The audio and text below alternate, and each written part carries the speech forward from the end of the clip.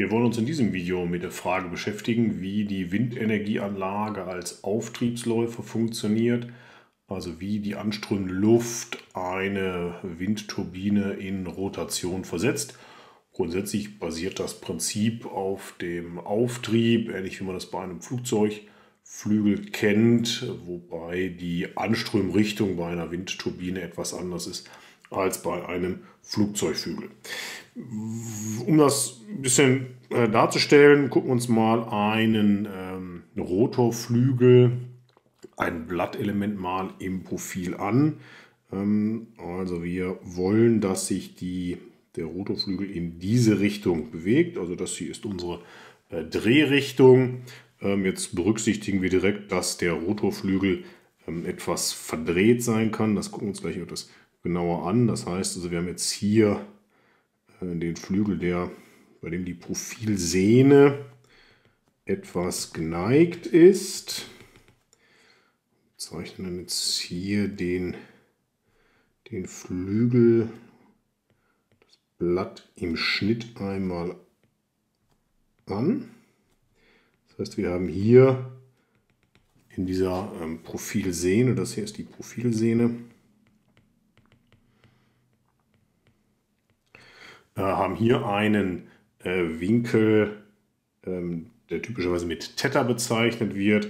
Also Theta ist der Blatteinstellwinkel.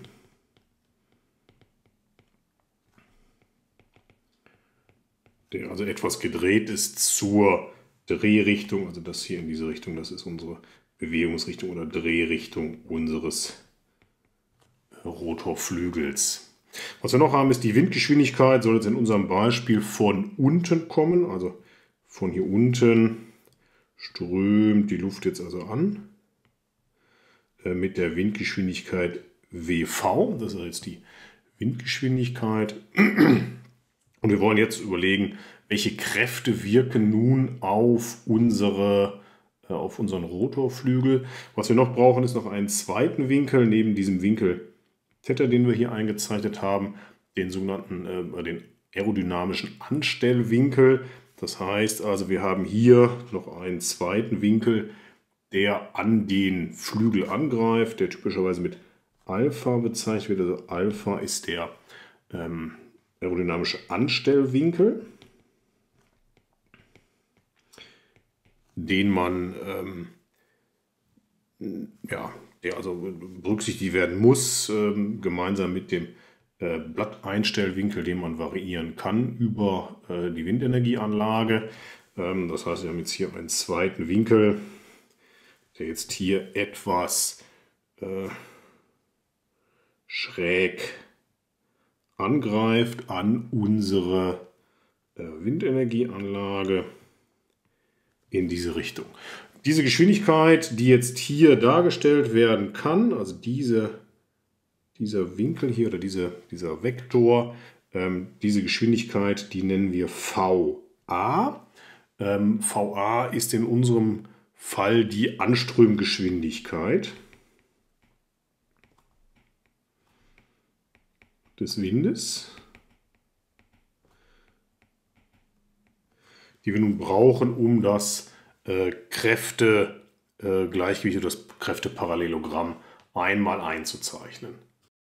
Was man anhand dieses Dreiecks hier bereits erkennen kann, ist ein erster Zusammenhang zwischen der Anströmgeschwindigkeit, dann der Windgeschwindigkeit, die wir jetzt hier noch einzeichnen können, und der äh, Drehgeschwindigkeit. Also wir haben jetzt hier die Drehgeschwindigkeit, die wird mit U bezeichnet. Und tragen wir es auch hier oben ein, U, das ist die äh, Drehgeschwindigkeit.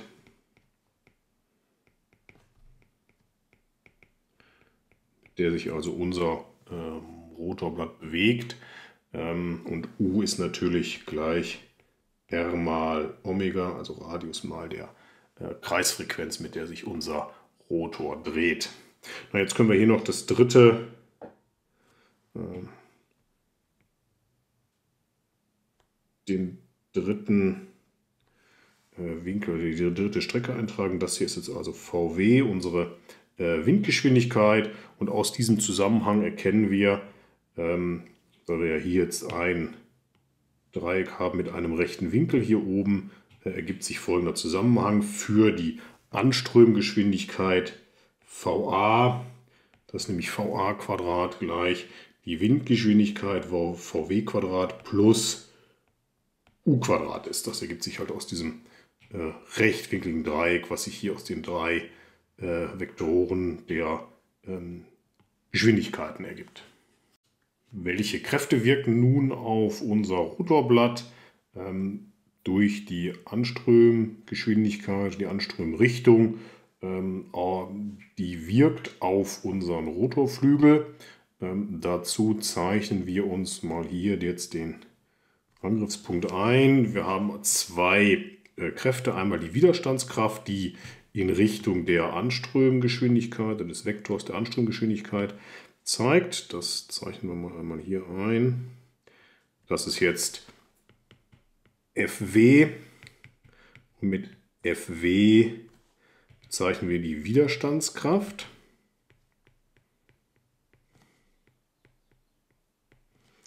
Und dazu senkrecht steht die äh, Auftriebskraft oder der Auftrieb in diese Richtung. Das ist Fa, unsere Auftriebskraft.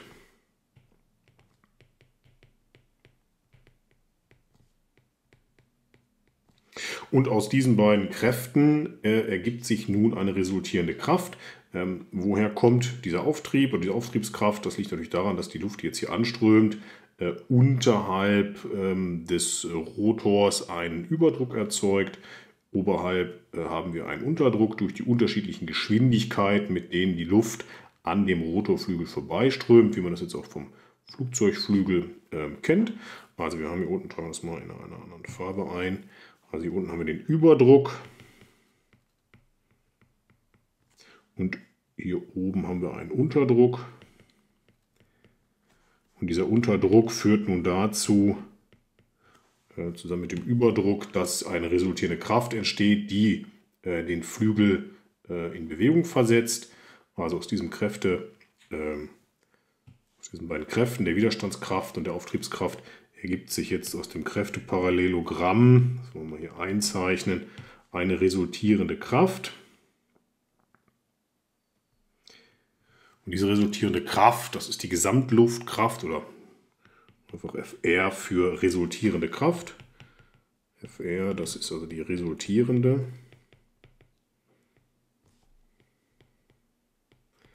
Kraft, die wirkt durch die anströmende Luft und äh, wir können nun diese äh, Gesamtluftkraft noch aufteilen in die Kraft, die in Richtung der Drehrichtung wirkt. Also, jetzt hier einzeichnen, einmal in diese Richtung hier. Das ist jetzt die äh, Tangentialkraft Ft.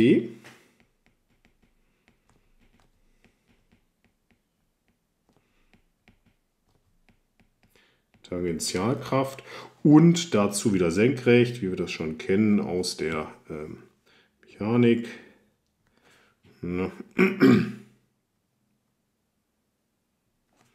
Also hier haben wir jetzt die, diese Kraft müssen den Fall noch ein bisschen länger machen. Das ist noch zu viel. Ähm, ja, ich denke, man kann es erkennen. Also das hier Machen wir vielleicht in einer anderen Farbe. Also das hier ist jetzt unsere Tangentialkraft Ft und dazu senkrecht steht die Schubkraft Fs. Also Fs nennen wir den Schub und die Schubkraft. Die Tangentialkraft, die führt jetzt zur äh, Rotordrehung. Also das ist die Kraft, die resultierende Kraft aus diesem äh, Kräfteparallelogramm, äh, die dazu führt, dass der Flügel sich nun in diese Richtung dreht, beziehungsweise dann natürlich die Kreisbewegung macht, währenddessen die Schubkraft, die senkrecht auf der äh, Tangentialkraft steht. Das ist die mechanische Belastung unseres Rotorflügels. Mechanische Belastung. Das heißt also, diese Kraft äh, führt dazu, dass wir also äh, führt dazu, dass der Rotorflügel mechanische Lasten aushalten muss. Das heißt, er muss entsprechende Stabilitäten aufweisen, um auch oder insbesondere bei sehr hohen Windgeschwindigkeiten im Bereich von 15, 20, 25 Meter pro Sekunde äh, immer noch in der Lage zu sein, diese, äh, diesen anstrengenden Wind umzuwandeln in eine äh, Drehbewegung, die wir dann umwandeln können in elektrische Energie. Man kann nun noch diese Gleichung hier etwas umformulieren, indem man noch die sogenannte ähm, Schnelllaufzahl einführt, abgekürzt mit Lambda. Lambda ist die sogenannte Schnelllaufzahl, die noch eine Bedeutung später bekommen wird. Schnelllaufzahl. Ist die Definition, dass Lambda äh, definiert wird als das Verhältnis der ähm, Geschwindigkeit, mit der sich unser Rotorblatt äh, in Drehrichtung bewegt, im Verhältnis zur Windgeschwindigkeit. Und wenn wir diese Gleichung nun hier oben einfügen, ähm, ergibt sich daraus, dass die ähm, Anströmgeschwindigkeit VA ähm, gleich VW, also der Windgeschwindigkeit mal Wurzel aus 1 plus äh, Lambda Quadrat wird. Lambda Quadrat. Das heißt also, über diese Definition mit der Schnelllaufzahl die, wie gesagt, später noch eine Bedeutung ähm, haben wird, das sehen wir dann in den nächsten Videos, ähm, lässt sich die Anstromgeschwindigkeit ermitteln als ähm, Windgeschwindigkeit mal 1 plus äh, Lambda zum Quadrat. Wie sieht das Ganze nun in der Seitenansicht an, wenn wir uns ähm, das Rotorblatt mit der Rotornabe einmal ansehen? Das wollen wir uns auch noch mal einmal aufzeichnen. Also wir haben jetzt hier ähm, die Rotornabe. Das soll jetzt hier die Rotornabe darstellen. Dann haben wir das Rotorblatt. Ähm,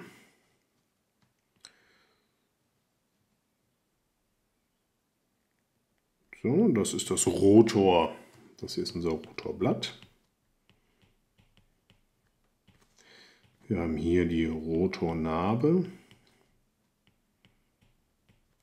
Und von vorne strömt der Wind nun an. Ähm, was passiert nun ähm, in unserer äh, Betrachtung mit, der, ähm, mit den Winkeln, die wir jetzt hier oben definiert haben? Das heißt also, wir haben die Windgeschwindigkeit, die jetzt nun von links äh, kommt, auf unseren Rotorflügel trifft. Und vielleicht mal ein bisschen hier schraffieren, um den hervorzuheben. Also das ist jetzt unser äh, unser Rotorflügel. Ähm, wir haben nun in diese Richtung, das hier ist unsere äh, Anströmgeschwindigkeit VA. Also das ist hier quasi die Richtung. Ähm, wir haben die Tangentialkraft, die senkrecht nach unten zeigt. Das ist Ft. Wir haben dazu senkrecht die Schubkraft. Fs, also die mechanische Belastung. Ähm, aus diesem Dreiecks- oder Parallelogramm haben wir vorhin gesehen, ähm, kann man jetzt die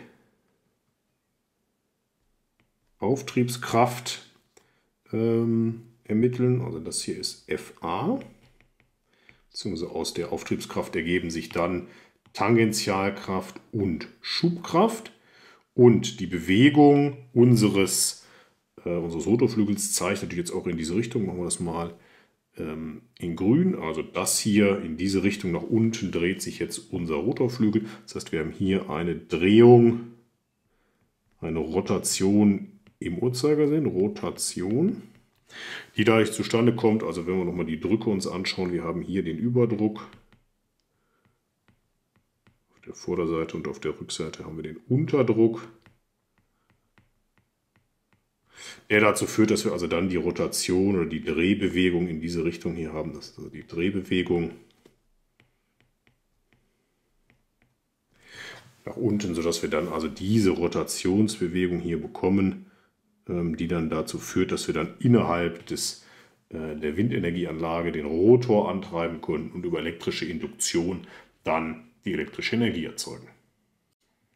Was man nun noch machen kann, ist, dass man diesen ähm, Winkel, den Blatteinstellwinkel Theta, den wir hier oben definiert haben, der lässt sich variieren, indem der Rotorflügel gedreht wird.